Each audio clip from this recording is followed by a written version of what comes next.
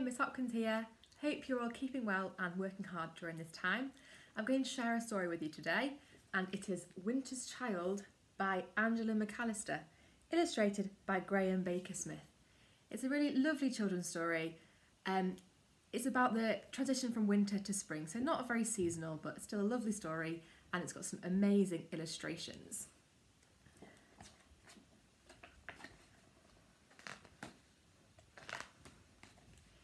It was the longest winter Nana could remember. Each morning she brushed the snow from her window box, waiting for a tiny green shoot, a sign of spring.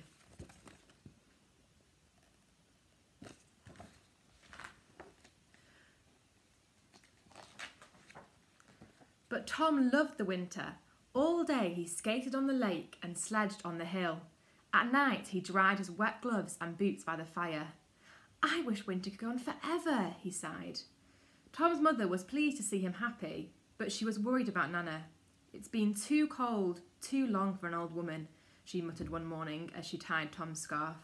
Nana needs the spring sun.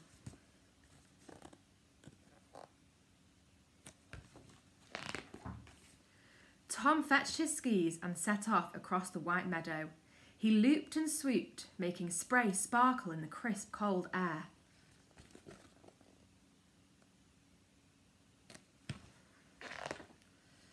Out of the snow stepped a pale boy with ice blue eyes. Tom stopped and smiled.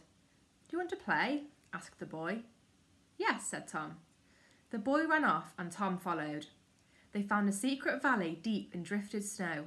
Tom and the boy made polar bears and arctic hares and dazzling white horses. I want to go on I want winter to go on forever, cried the boy. They played all day until Tom heard his mother calling him home. I have to go, he said sadly. Goodbye, said the boy. Let's play tomorrow.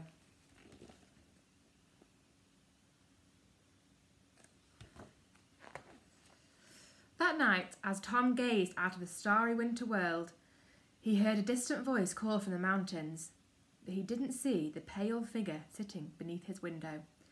Outside, the boy put his hands over his ears and curled up tight and you can see the boy there sitting under his window. Next day, there were only four logs left in the woodshed. What will we do? Tom's mother sighed. If the spring sun doesn't come soon, how will we keep Nana warm? Tom went out and chopped up his wooden skis for firewood. I'm too old for these now, he told Nana. Then Tom went out to play.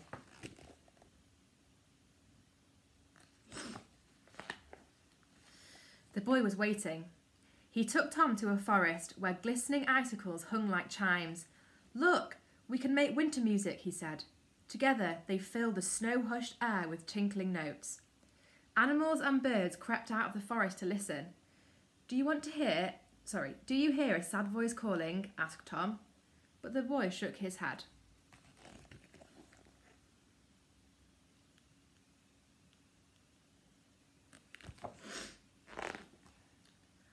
Next day, there was no more firewood. Tom chopped up the ladder into his treehouse. I'm big enough to climb up the tree myself now, he told Nana. Tom's mother took the last vegetables from the store cupboard to make hot soup for Nana. If only this long winter would end, she sighed. How can I plant seeds in this frozen earth? Tom went out to play. Once more, the boy was waiting. The snow was crisscrossed with hoof prints, Tom and the boy followed the track until they found a reindeer stag.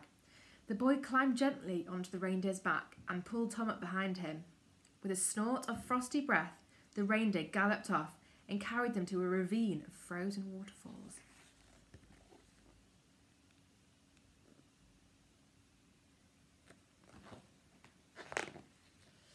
Tom and the boy played in and out of the waterfalls all day until it was time to ride home.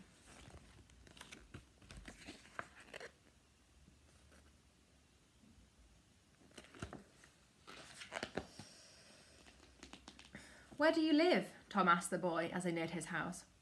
Everywhere and nowhere, laughed the boy, and then he was gone. That night there was nothing to burn on the fire. Tom laid his wet gloves and boots by the cold hearth. Then he gave Nana all the blankets.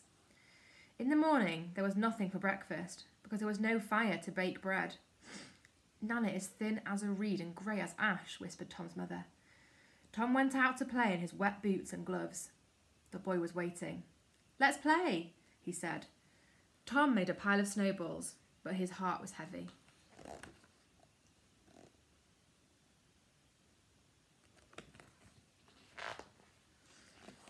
What's wrong? asked the boy. Tom told him about his Nana.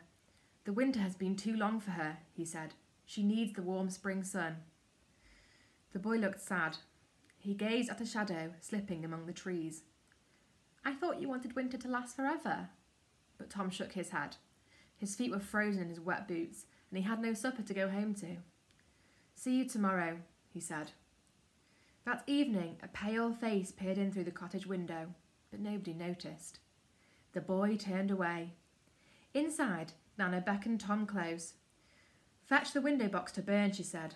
I'll never see a green shoot grow there. Tom looked sadly at the empty window box. To his surprise, he noticed fresh footprints in the snow beneath.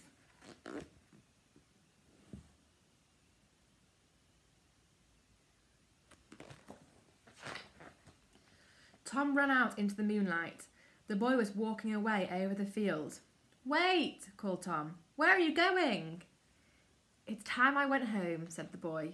It's my fault that winter has been so long. Tom was puzzled. I don't understand. I am winter's child, said the boy. Spring cannot wake until winter and his child are asleep. Tom stared at his friend in wonder. I stayed away from my father because I wasn't ready to sleep, explained the boy. I wanted the winter to last forever, but I have played too long. Tom looked around at the white, moonlit world. Winter is wonderful, he said. So is having a friend, said the boy. Starlight sparkled in his ice blue eyes. I saw what you gave your Nana. Now I can give you something. I can give you spring.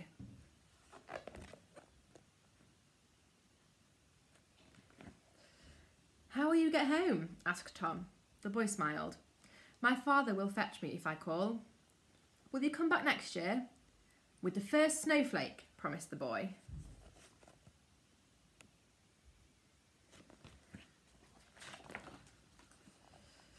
Tom walked home.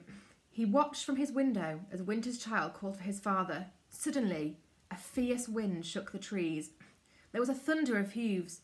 Out of the frozen air swirled a blizzard of snowflakes, and winter came, riding a sleigh of ice, and the boy was gone.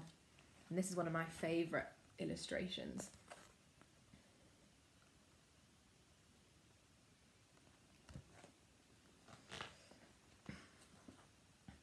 Next morning, Tom woke to the sound of dripping water. The sun was shining and the world had already begun to thaw. A tiny green shoot pushed through the earth Nana's window box. Tom looked up at the white cap mountains. Sleep well, Winter's child, he said. I'll be waiting. When the snow returns, we'll play together again.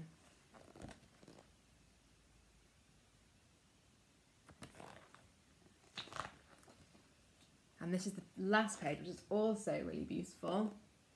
And you can see here, this is Spring's Child. So Winter's Child went to sleep and Spring's Child has come out to start the new season. And that is a beautiful book, Winter's Child by Angela McAllister. Hopefully you enjoyed the story and um, I'm sure I'll share another one soon.